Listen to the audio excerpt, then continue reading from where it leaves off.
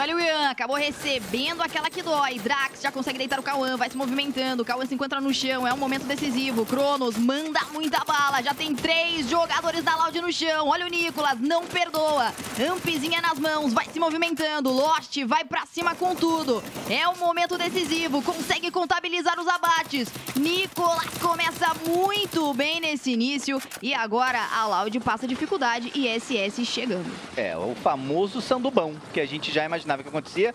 Cronos tá como ali, ó. Ninguém me viu, vamos ficar de boa. Por enquanto, vamos ver onde dá. E foi exatamente o que o Vini falou. Eram duas equipes que chegariam ali pelas costas. Só que a meta já fez boa parte do trabalho. Mas o Cronos tá quietinho. E olha o Jubinha, vai colocando sua mão pra cantar, consegue deitar o jogador, consegue agora contabilizar o abate. MTS na granada, que que é isso, Matheus Silva? Se movimenta muito bem, olha o Phoenix, não perdoe, agora a Metagaming passa dificuldade.